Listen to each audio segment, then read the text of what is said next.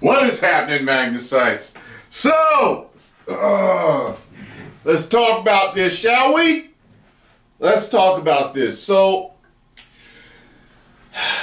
by the way, my reaction is up on Patreon right now, and I lost it at the part that I will reveal at the end of this review, of course. So, I thoroughly enjoyed this episode of WandaVision. so, in this episode, you know, we're getting more of, you know, what we've been having, but certain things are dropping. You know what I mean? Like, now things are starting to distort, things are starting to show themselves. Like, she used her powers in front of people. And her and Vision are actually discussing that in front of people.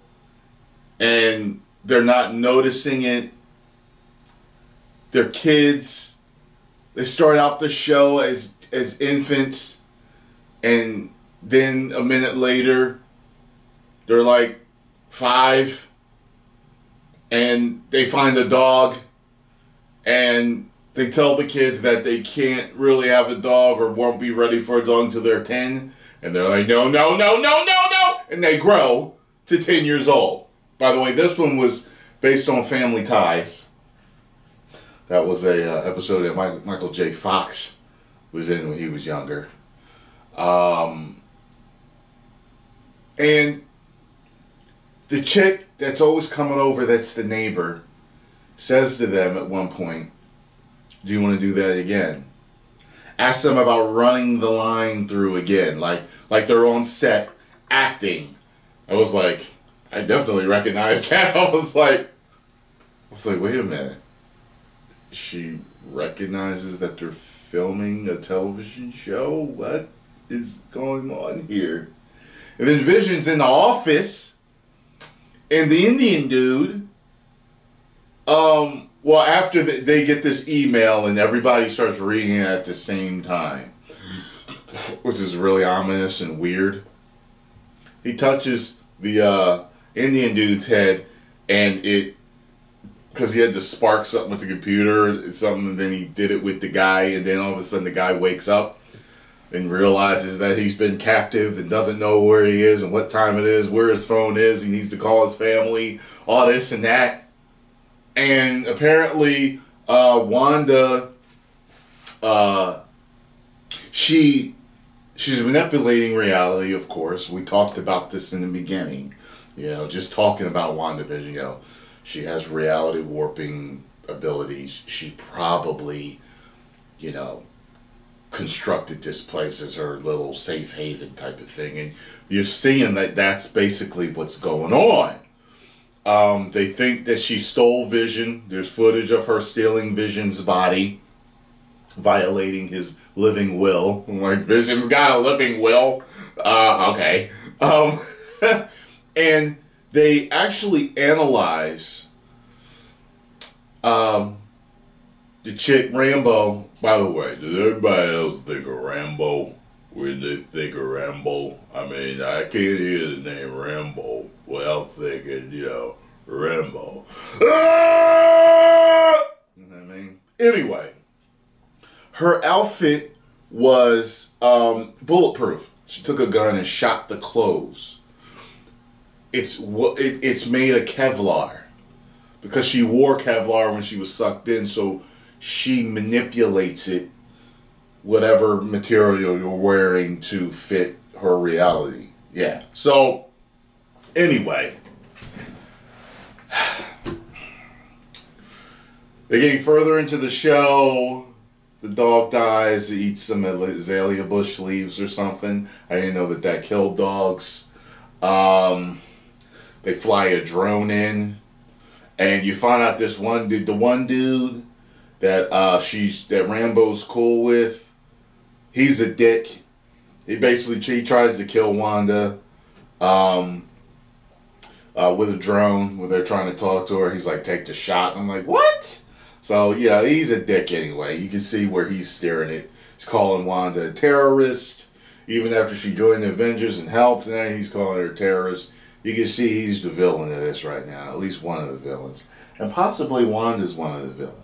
By the way, they touched on some Easter eggs right here when she was talking, when they were talking, and she was like, well, she could have defeated Thanos on her own if he hadn't called out that strike.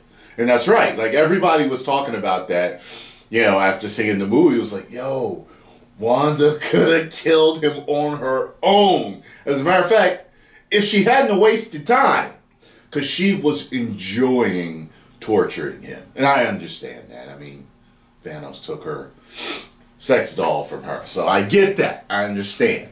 You know, she had to waste her time and just tore him apart on instant, instantaneously. But anyway, and then they talk about, well, Captain Marvel came close. And that's true too. It's like, oh, okay, I like I like that type of fan service egg shit. As long as it's not too much like Dragon Ball Super, well, we're good. So, anyway, so going towards the end, you know, like her and Vision have a confrontation because he's seeing what's going on. Like the kids are asking her to bring the dog back, and he said uh, he told her about the incident at the office with the Indian dude, and he's like, "You can't control me like you control them," and she's like, "Can I?" And she walks away. This is all while like the end credits are rolling for the show and the music's playing. It's weird. It's but it's I like how they're doing this, and um, you know, he confronts her and I want to know what's going on. And he flies up and hovers, and she flies up and hovers, and she's like, "You've never talked to me like this before. I'm scared." And this and da da da da da. The doorbell rings. She goes to answer the door, and you recognize that it's Quicksilver's hair. It's him. It's her brother. It's like, holy shit, yo, Quicksilver's here. But it's the Quicksilver from the X Men movies. I was like, what? What? I was like, I love how they're crossing things up. I love this. I love it. I have wanted crossover stuff for years. I have wanted, I hate that the studios don't do it. I fucking hate it.